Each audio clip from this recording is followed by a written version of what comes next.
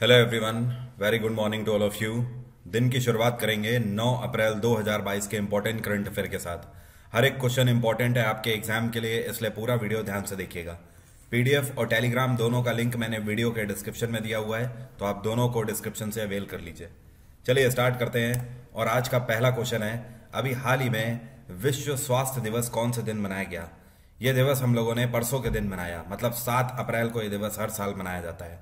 और इस बार 2022 की थीम थी अवर प्लानट अवर हेल्थ ये दिवस इसलिए मनाया जाता है कि लोगों में वेल बींग के लिए अवेयरनेस पैदा हो और साथ में इस प्लानट को बचाने के लिए भी अवेयरनेस पैदा हो।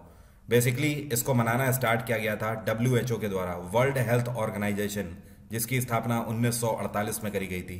WHO का हेडक्वार्टर है जेनेवा और इसके प्रेसिडेंट हैं टेड्रॉस एडनैन क्या नाम है? टेड्रॉस एडनैन अगला क्वेश्चन है, अभी हाल ही में यह कौन सा बैंक है जिसके द्वारा एक सुपर एप्लीकेशन लॉन्च किया गया है, जिसका नाम है यूनियन नेक्स्ट और इन्होंने इसके साथ में एक डिजिटल ट्रांसफॉर्मेशन प्रोजेक्ट भी लॉन्च किया है, जिसका नाम है संभव तो संभव नाम का यह प्रोजेक्ट और यूनियन नेक्स्ट नाम का एप्लीकेशन लॉन्च किया गया है यूनियन बैंक ऑफ़ इंडिया के द्वारा। किसके द्वारा?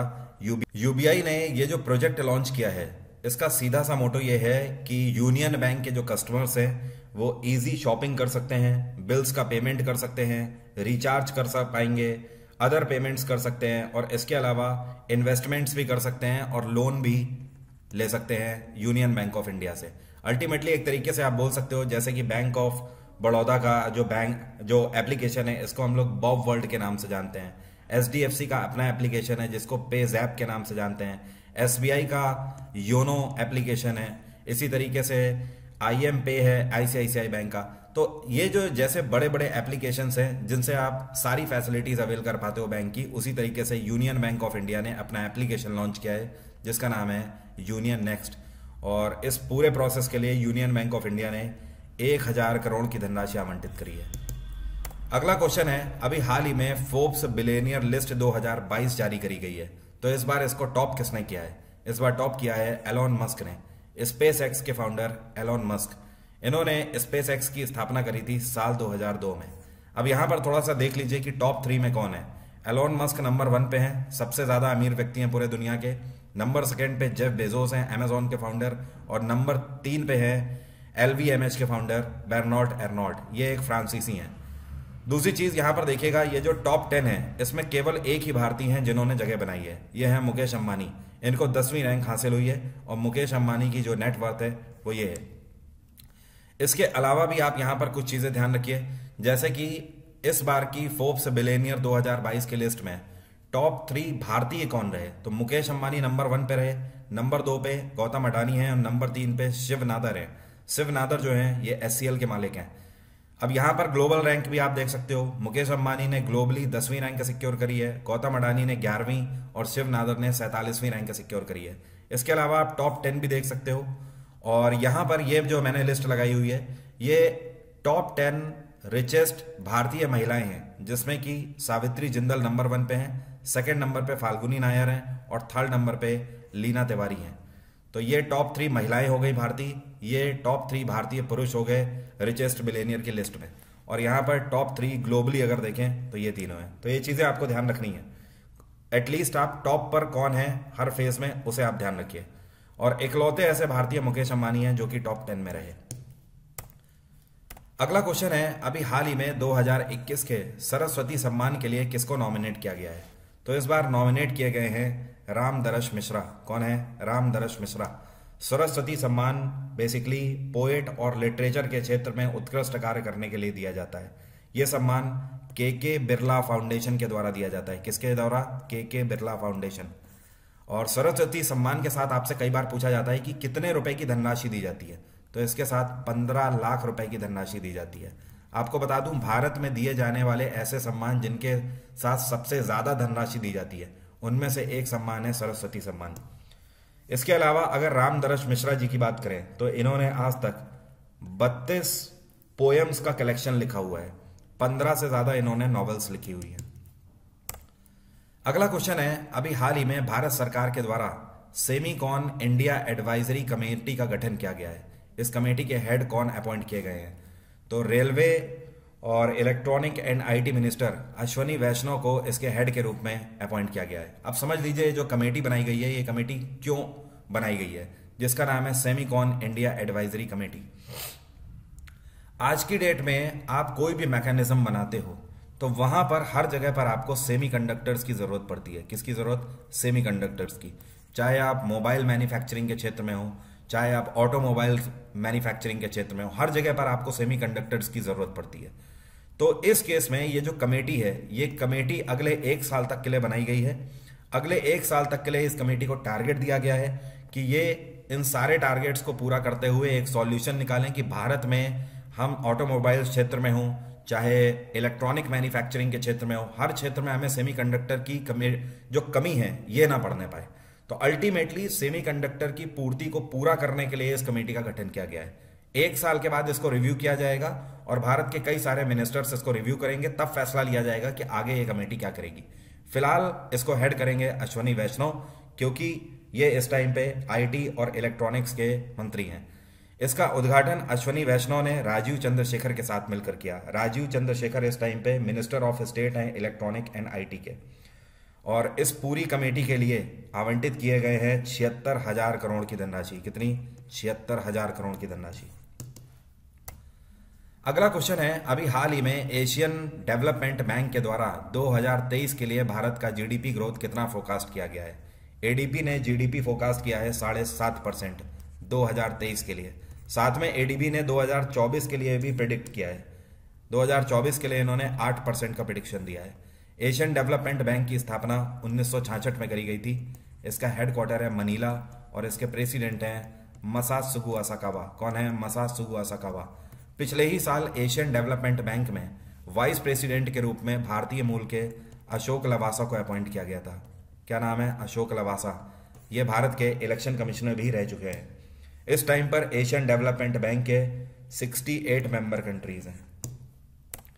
अगला क्वेश्चन है a community museum has been opened in Gaya samosa villages of which district ये कौन सा डिस्ट्रिक्ट है जिसके ग्या समोसा गाँवों में कम्युनिटी म्यूज़ियम अभी हाल ही में इनोग्रेट किया गया है? तो ये है लेह डिस्ट्रिक्ट लेह के अंदर ग्या समोसा गाँव में इसका उद्घाटन किया गया है। अब ये म्यूज़ियम क्यों इनोग्रेट किया गया है? देखिए, ये म्यूज़ियम जो है, ये लेह लद्दाख की ट्रेडिशनल थिंग्स के बारे में बताएगा, जो कि ट्रेडिशनल चीज़ें हैं यहाँ पर लोगों के द्वारा बनाई जा रही हैं। जैसे कि यहाँ के लोग क्राफ्टिंग का काम जानते हैं। इसके अलावा यहाँ के बर्तन काफ़ी फ़ेमस हैं, ठीक है? और, इसके अलावा पेंटिंग के भी कलेक्शंस हैं। इन सभी को यहाँ पर प्रदर्शित किया जाएगा। अल्टीमेटली ये जो म्यूज़ियम है ये आपको लेह के कल्चर के बारे में बताएगा। और लेह में इस टाइम पे गवर्नर कौन है? आर के माथुर राधा कृष्ण माथुर। अगला क्वेश्चन है, ये कौन सा राज्य है भारत का, जहाँ पर अभी हाल ही में भारत और किर्गिस्तान की ज्वाइंट स्पेशल फोर्स एक्सरसाइज का इनोग्रेशन किया गया था। तो भारत और किर्गिस्तान के बीच में ज्वाइंट स्पेशल फोर्सेस एक्सरसाइज इस बार आयोजित करी गई थी हिमाचल प्रदेश में। कहाँ पर? हिमाचल प्रदेश में। और हिमाचल प्रदेश में कहाँ पर? तो ध्यान रखिएगा, इस डिस्ट्रिक्ट का नाम है बकलो। क्या नाम है? बकलो में इसको आयोजित किया गया था। ये जो एक्सरसाइज है, ये 25 मार्च को स्टार्ट हुई थी और अभी ये हाल ही में 6 अप्रैल को खत्म हुई है एक्सरसाइज इसमें भारत और किर्गिस्तान की दोनों की स्पेशल फोर्सेस ने हिस्सा लिया। किर्गिस्तान की कैपिटल क्या है? इसको बोलते हैं बिश्केक। क्या बोलते हैं? बिश्केक। और यहाँ पर करेंसी चलती है सोम। अगला क्वेश्चन है, अभी हाल ही में डीसीबी बैंक के एमडी और सीईओ के रूप में रीअपॉइंट किया गया है किसको? डीसीबी का मतलब है डेवलपमेंट क्रेडिट बैंक इसके एमडी और सीईओ के रूप में एक बार फिर से अपॉइंट किया गया है मुरली नटराजन को। ये कौन है जो आपको पिक्चर में दिख रहे हैं? मुरली नटराजन। वैसे मैं आपको बता दूँ, मुरली नटराजन 2009 से मैनेजिंग डायरेक्टर और सीईओ की पोस्ट में है डीसीबी बैंक की। लेकिन अभी क्या हुआ कि इनको रिटायर होना था 2022 में। लेकिन सरकार के द्वारा यह पॉलिसी बनाई गई है मतलब आरबीआई ने, रिज़र्व बैंक ऑफ़ इंडिया ने बैंक के चीफ एग्जीक्यूटिव का जो टेन्योर है, ये पंद्रह साल का कर दिया है। तो अगर आप देखें 2009 से पंद्रह साल कब होते हैं 2022 में नहीं 2024 में होते हैं। तो इसलिए इनका कार्यकाल अगले दो साल के लिए बढ़ा दिया गया है। तो मुरली नटराजन दो साल और सर्व करेंगे डीसीबी बैंक में, एमडी और सीईओ के रूप में। अगला क्वेश्चन है, अभी हाल ही में hockey India senior men's national championship 2022 का उद्घाटन किया गया है कौन से शहर में? तो इस बार hockey India senior men's national championship का आयोजन किया जा रहा है मध्य प्रदेश की कैपिटल भोपाल में। और इस बार इसका बारहवां संस्करण इनोग्रेट किया गया है। और अभी ये शुरुआत हुई है इसकी छह अप्रैल को। आपको पता है, पिछली बार जब ग्यारहवां सत्र इसका आयोजित किया गया था तो इलेवेंथ एडिशन इसका जीता था पंजाब हॉकी टीम ने। पंजाब ने फाइनल में उत्तर प्रदेश को हराया था पिछले टूर्नामेंट में। तो इस बार देखते हैं कौन सी टीम जीतती है। Hockey India senior men's national championship इस बार ये 12 दिन का टूर्नामेंट खेला जा रहा है और इसमें 28 टीमें पार्टिसिपेट कर रही हैं पूरे भारत की। नेक्स्ट क्वेश्चन है, एक किताब है जिसका नाम है द मैवरिक इफ़ेक्ट ये किताब अभी लॉन्च हुई है और इसके ऑथर कौन है? तो ये किताब लिखी गई है, ध्यान रखिएगा। इनका नाम है हरीश मेहता। कौन है? हरीश मेहता। और ये किताब बेसिकली लिखी गई है नेस्कॉम के ऊपर। नेस्कॉम आपको पता है, भारत सरकार की एक नॉन प्रॉफिट ऑर्गेनाइजेशन है और ये भारत में टेक्नोलॉजी इंडस्ट्री के क्षेत्र में कार्य करते हैं। तो ये जो किताब है, ये किताब ये बता रही है आपको कि नेस्कॉम ने भारत के आईटी रेवोल्यूशन में क्या क्या योगदान दिया है। नेस्कॉम की स्थापना 1988 में करी गई थी। इसका हेडक्वार्टर है नई दिल्ली। अगला क्वेश्चन है, अभी हाल ही में भारत के कौन से राज्य में सरहुल महोत्सव मनाया गया? तो सरहुल उत्सव मनाया जाता है हर साल झारखंड में। और झारखंड की ट्राइबल कम्युनिटीज इसको मनाती हैं। झारखंड की जो मेन ट्राइबल कम्युनिटीज हैं, ये है मुंडा ट्राइब मुंडा के अलावा यहाँ पर हो ट्राइब है। हो ट्राइब के अलावा ओराव ट्राइब तो मुंडा, हो और ओराव ये यहाँ की मेन ट्राइब है और तीनों ट्राइबल कम्युनिटीज के द्वारा सरहुल उत्सव मनाया जाता है। सरहुल उत्सव झारखंड के अंदर जो ट्राइबल कम्युनिटीज हैं, इनमें जो डाइवर्सिफिकेशन है मतलब जो विभिन्नताएँ हैं, जो इनका कल्चर है, उसको प्रमोट करने के लिए मनाया जाता है। और ये जो फेस्टिवल है, ये फूलों का त्यौहार भी माना जाता है वहाँ पर। इसमें साल ट्री की पूजा करी जाती है और इसमें जो डांस किया जाता है, इसी को सरहुल नाच के नाम से भी जाना जाता है। तो क्वेश्चन आपसे ये भी पूछ देता है कई बार आर्ट एंड कल्चर से कि सरहुल नाच कौन से राज्य में चलता है? तो ये झारखंड में चलता है, ध्यान रखिएगा।